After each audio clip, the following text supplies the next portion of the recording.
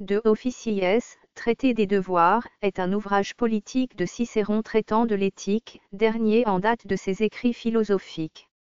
Paru plusieurs mois après la mort de Jules César, en 44 avenue JC, il est adressé par Cicéron à son fils Marcus, qui étudiait alors la philosophie à Athènes sous la direction de Cratype. Plus largement, l'ouvrage est écrit comme les précédents pour la formation de la nouvelle génération, qui comme Cicéron l'espère reprendra la direction de la République. Le traité comprend trois livres, le premier traite de l'honnête homme, le second de l'utile, le troisième des cas de confrontation entre ces deux critères. L'inspiration montre l'intérêt croissant de Cicéron pour les attitudes stoïciennes, alors qu'il se montrait jusqu'ici adepte de la doctrine de la Nouvelle Académie, celle qui naît sous l'influence probabiliste de Carnéade. Dans ses académiques Cicéron ne distingue que deux tendances dans le platonisme, celle de Platon et celle d'Arcésila de Pitane, l'ancienne et la nouvelle d'eux.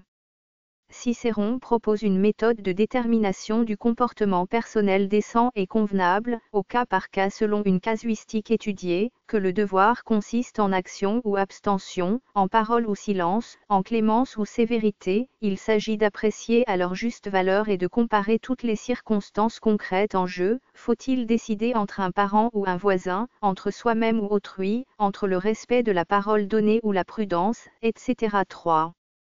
Date et titre. En trois livres, l'ouvrage est écrit entre le début d'octobre et le début de décembre 1944 avenue JC, période pendant laquelle Cicéron hésite entre rejoindre son fils à Athènes et mener une activité politique contre Marc-Antoine, après la rédaction de la deuxième Philippique 4. Cicéron n'envisageait pas la conception de ce traité dans le corpus philosophique qu'il avait défini au début 445 il fait une première allusion dans un courrier à Atticus VI à un traité sur lequel il travaille selon l'inspiration du moment, qu'il dédie à son fils et qu'il désigne provisoirement par une expression grecque peritou katekonto, de katekon, sur ce qui est convenable, 7. Cicéron envisage de transcrire ce concept par officium, qui désigne l'accomplissement un travail qui apporte une aide à un tiers, par exemple assister un ami en justice. Sur les objections d'Atticus qui préférait vertu, il cite des expressions latines usuelles comme senatus officium, l'activité du Sénat, consuli officium, les devoirs du consul, et il opte pour une tournure au pluriel de officies 4. Manuscrit source. Cet ouvrage nous a été transmis à travers les siècles grâce à des manuscrits en nombre relativement considérable qui ont survécu jusqu'à nos jours. Parmi les plus anciens sont 8, B. Bamberg 26, XE ou XI siècle, comportant de nombreuses retouches sur un texte souvent fautif. B. Bamberg 27, siècle siècle, incomplet. B. Bernstadts Bibliothèque 391, XI siècle, avec beaucoup de corrections. A Bernstadts Bibliothèque 514, siècle siècle. Vossius latin Q71, Leyde, du X siècle. L. Londres, British Museum Harley 2716, siècle, avec des lacunes. Paris BN Fond latin 6601, XE ou XI siècle, très retouché. Paris, BN fragment allant de 2, 72 à 3, 11, du VIE ou X siècle. Les copies se multiplient au tri et très les siècles, puis au EV siècle, pour atteindre quelques 700 exemplaires avant l'invention de L. Imprimerie 9. Les études comparatives menées principalement par les philologues allemands et italiens entre 1850 et 1914 mettent en lumière deux familles différentes de manuscrits, l'une la plus ancienne dérivée d'un ancêtre Z, origine directe ou indirecte de la plupart des copies, et l'autre d'un ancêtre X, dont le manuscrit tel est le représentant connu le plus ancien. Ces hypothétiques X et Z présentent des fautes communes, et pourraient être issus d'un archétype du II siècle X. Destination Paru plusieurs mois après la mort de Jules César, en 44 avenue JC, il est adressé par Cicéron à son fils Marcus, qui étudiait alors la philosophie à Athènes sous la direction de Cratype. Plus largement, l'ouvrage est écrit comme les précédents pour la formation de la nouvelle génération, qui comme Cicéron l'espère reprendra la direction de la République.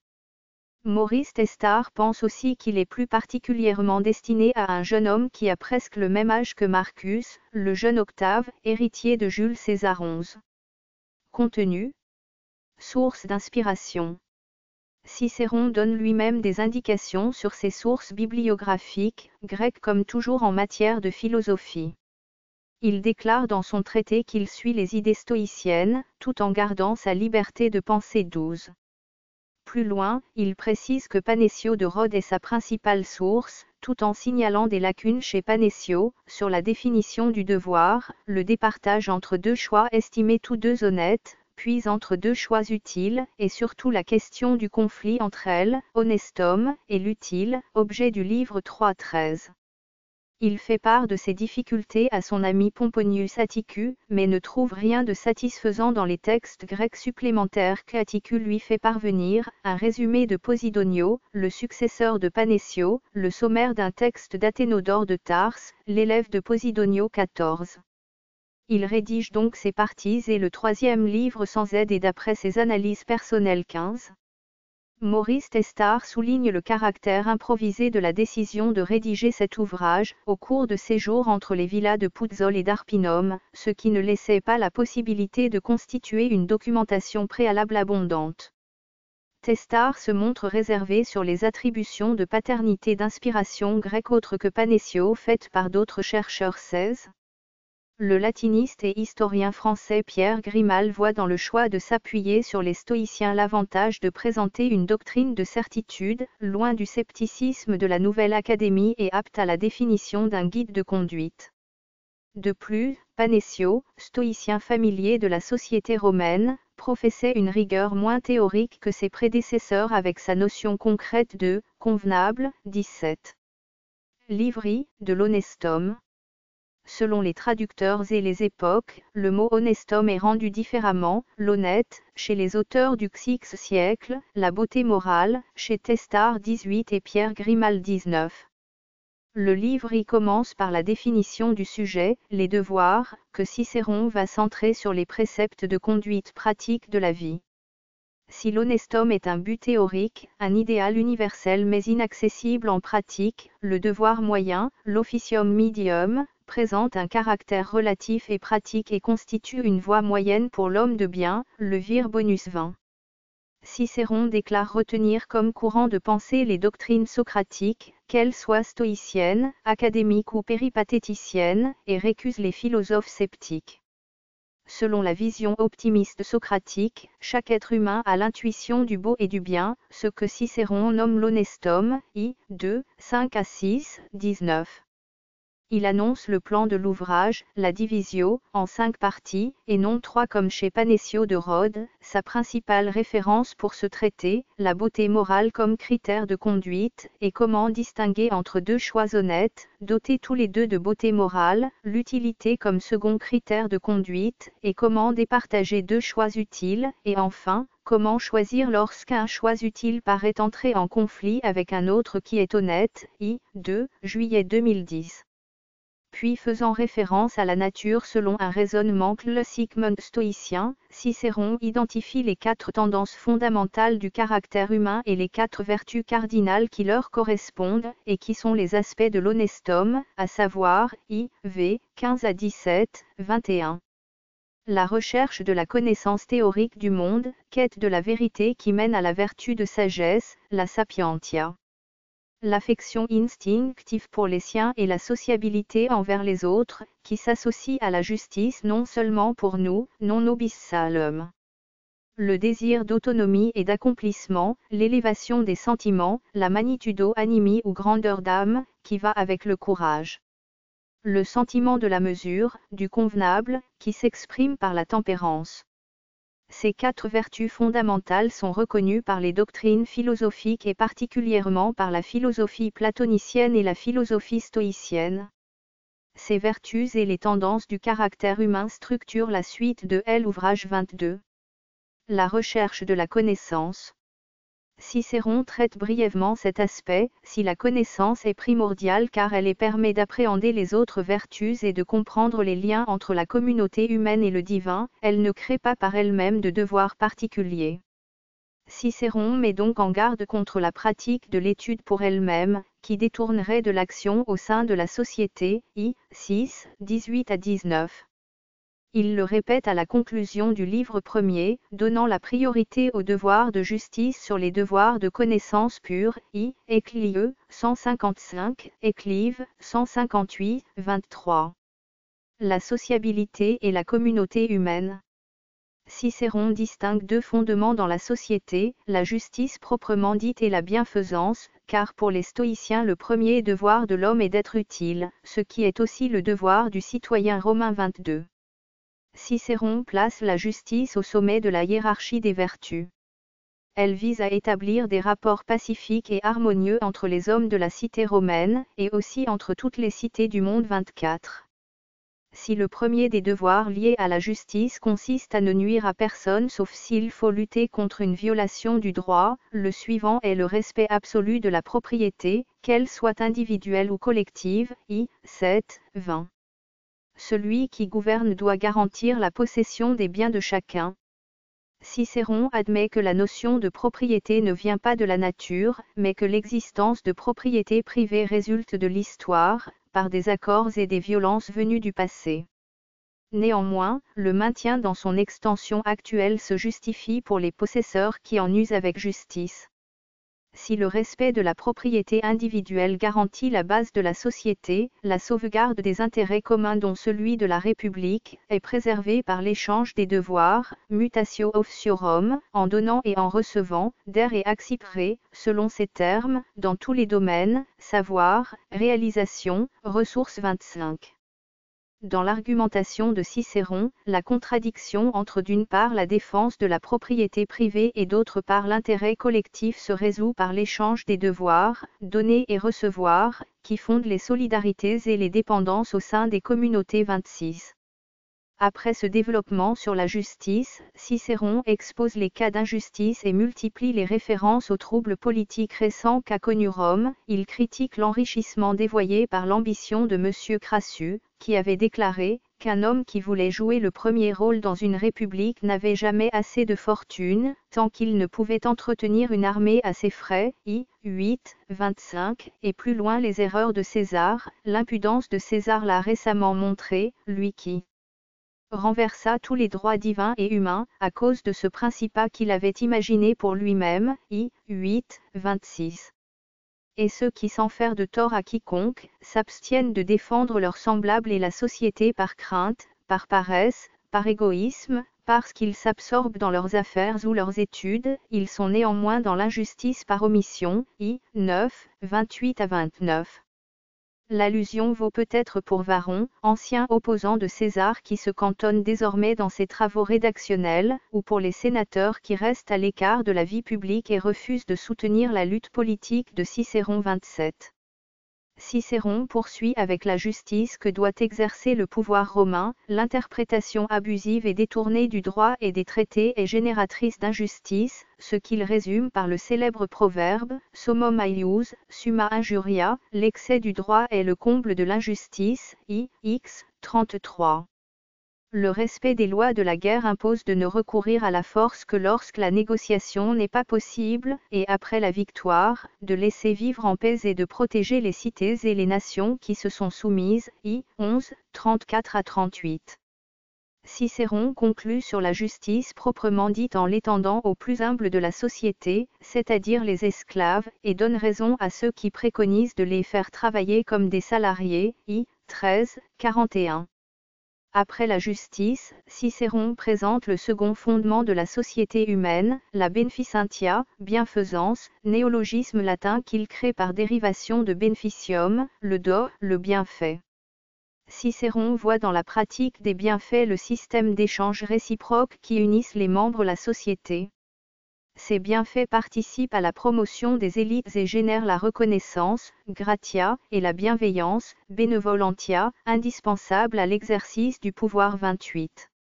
Cicéron définit les limites de la bonne pratique des bienfaits, ne nuire à personne en distribuant des biens mal acquis comme l'ont fait Sylla et César, ou en dépensant au-delà de ses moyens, ce qui lèse les siens, I. 14, 42 à 44, tenir compte du mérite du destinataire en considérant si besoin avec indulgence sa conduite et ses qualités imparfaites parce qu'humaines, rendre avec reconnaissance les bienfaits reçus, I. 14, 45 à 49, exercer ses bienfaits au cercle croissant de la communauté humaine, couple et enfants, cousins et alliés, cité, république, société des Viriboni, ces gens de bien qui sont nos amis et nos semblables, I. 17, 52 à 56.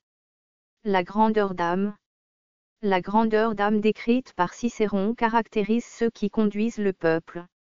Sa première manifestation est militaire, avec de grands noms comme les Scipions et Marcellus, mais elle devient négative si elle ne s'accompagne pas de justice, et n'agit que pour son intérêt.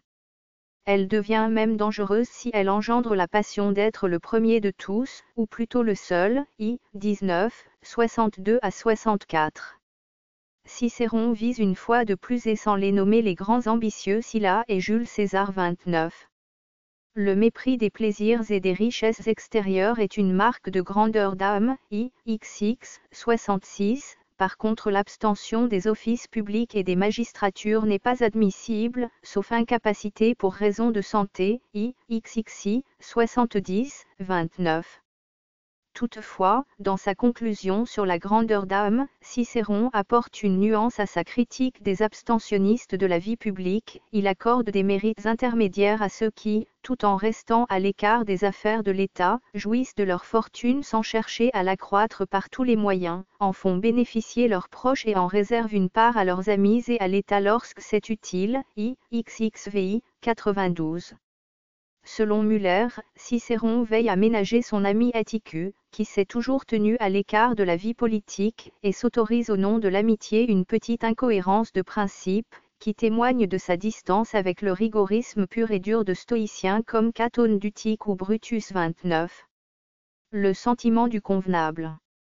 L'officium doit aboutir à un comportement qualifié de décent ou de convenable, de sang, de quorum, qu'il soit acte ou abstention, parole ou silence, clémence ou sévérité 3.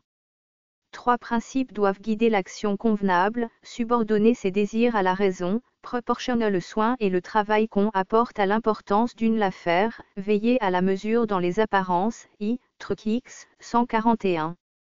Cicéron prône donc le respect des convenances et la pondération, en quelque sorte le savoir-vivre de l'homme bien élevé, agissant convenablement selon les actions à faire, selon son caractère et son âge, un peu comme un acteur qui sait adapter sa conduite au rôle qu'il tient 30.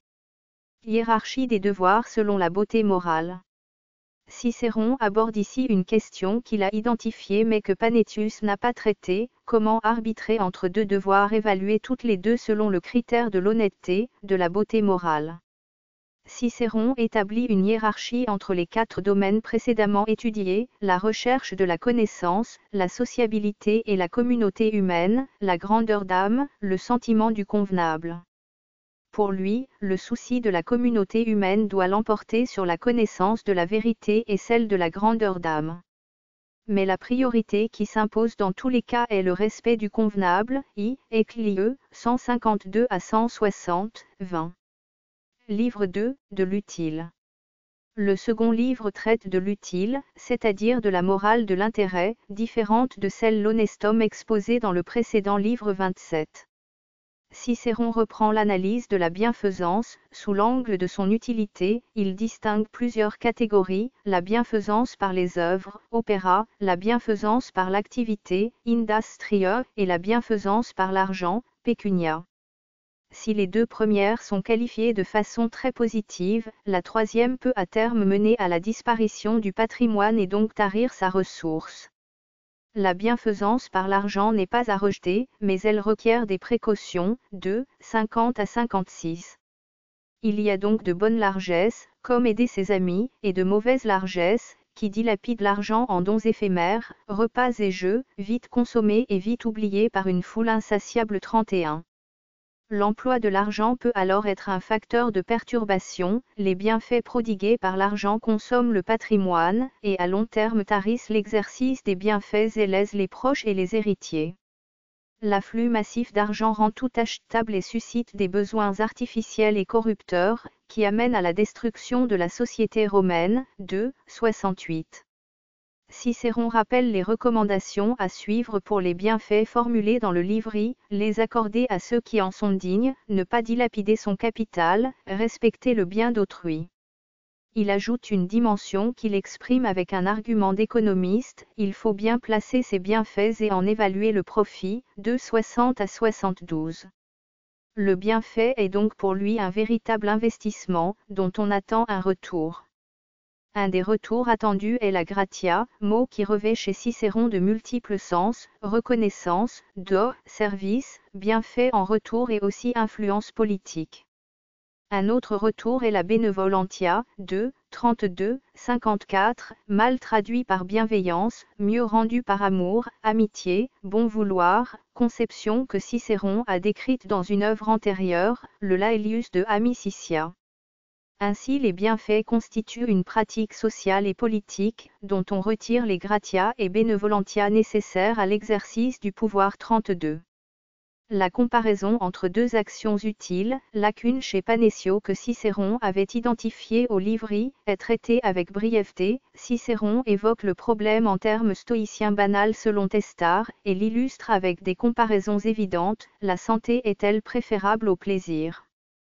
Et une anecdote sur Catone le censeur sur sa hiérarchie des sources de revenus, 2, XXV, 88 à 90, 33. Livre 3, Opposition entre l'honnête et l'utile. La distinction et la hiérarchie entre l'honnête et l'utile est fondamentale, elle recouvre l'opposition entre les activités désintéressées, vouées à l'intérêt général ou public, autrement dit nobles, et les activités utiles, intéressées, profitables, matériellement productives, celles qu'on désigne actuellement comme les activités économiques. La question de la distinction entre l'utile et l'honnête recouvre en partie celle entre le négocium et l'osium. Le de officies est le fruit des réflexions personnelles de Cicéron, car cette question n'est pas traitée par Panécio de Rhodes, ni par ses successeurs Posidonio et Athénodore de Tarse. En effet, du point de vue de la stricte doctrine stoïcienne, la séparation entre l'honnête homme et l'utile n'existe pas, pour le sage, ce qui est honnête est utile, et il n'y a d'utile que l'honnête. Panécio ne semble pas être sorti de ce schéma, mais Cicéron est moins rigoriste et développe sa démonstration pour une moralité moyenne qui n'est pas celle du sage idéal 34. La règle qui ramène à l'honnête lorsqu'on prend en compte l'aspect utile d'une action renvoie à l'idée de justice, il est contraire à la nature qu'un homme tire un avantage personnel du préjudice causé à autrui. 3. V. Le seul but vraiment utile est d'identifier son intérêt particulier à l'intérêt général 35. Inversement, l'action qui privilégie l'utile sur l'honnête lèse la communauté humaine. Néanmoins, entre nous et les tyrans, il n'existe pas de société 36. Cicéron estime donc que l'assassinat de César, meurtre utile, n'est pas une atteinte à la moralité.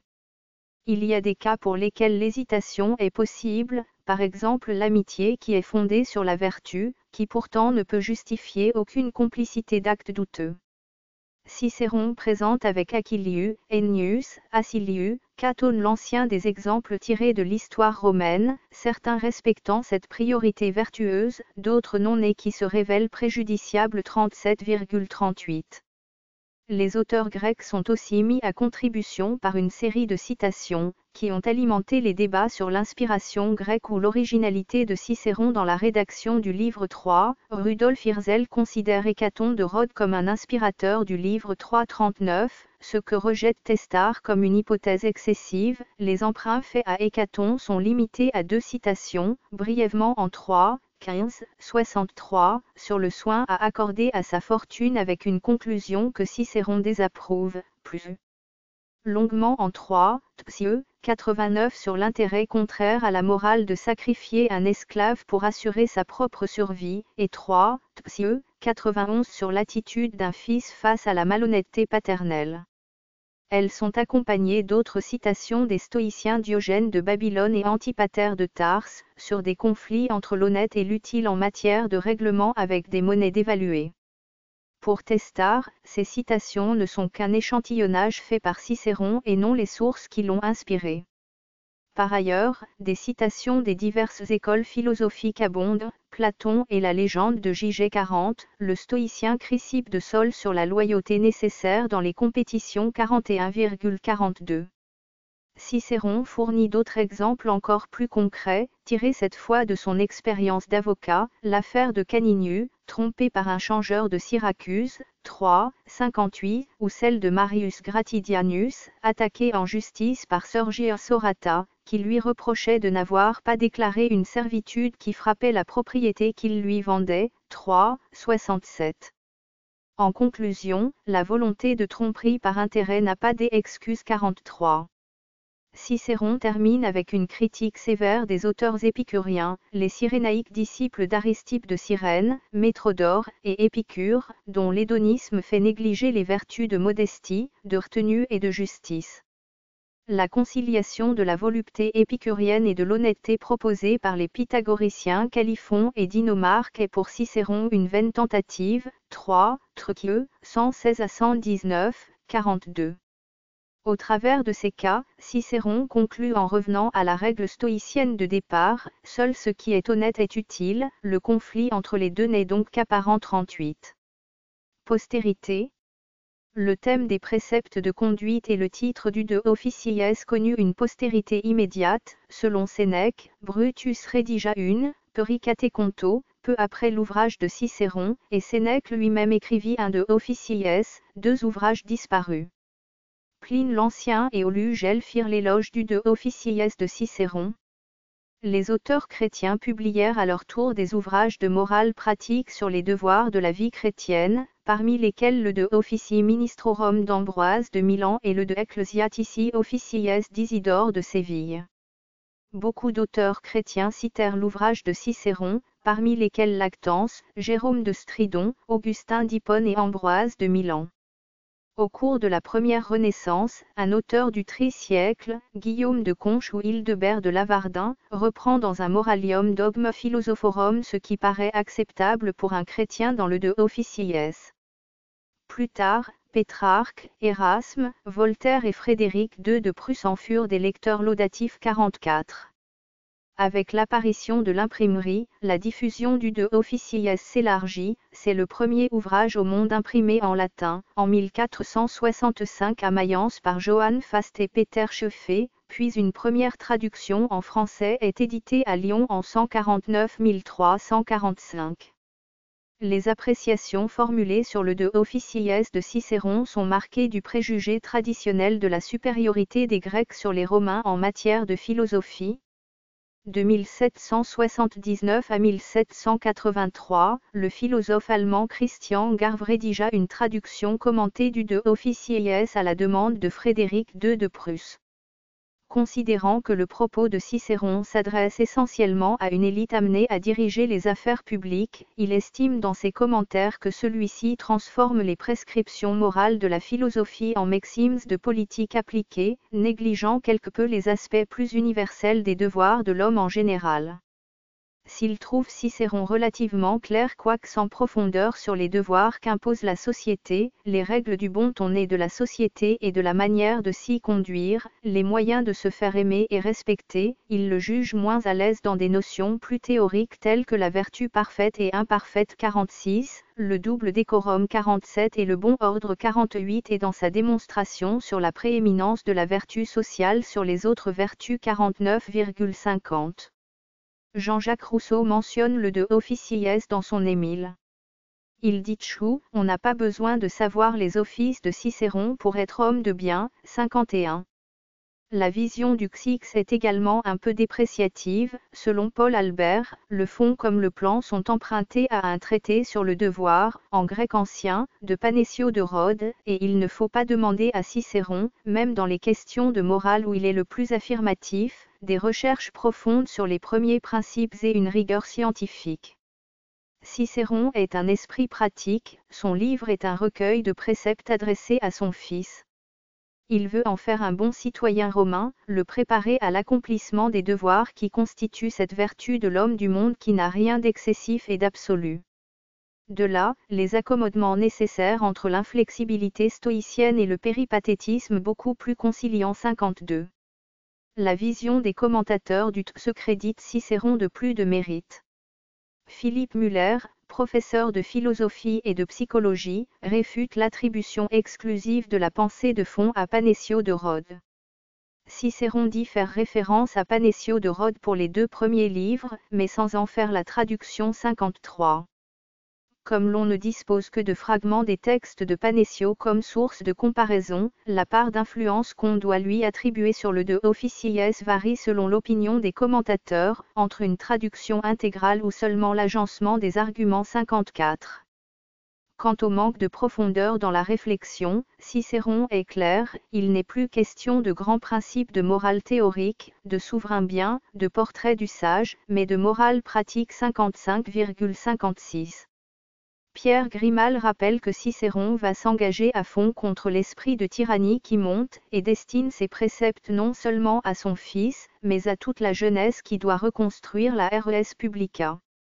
Il s'adresse peut-être aussi à lui-même, pour s'encourager à son propre officium, avant d'offrir sa vie pour la liberté comme il l'annonce dans la deuxième Philippique, avec une certaine grandiloquence mais une intuition réaliste 57.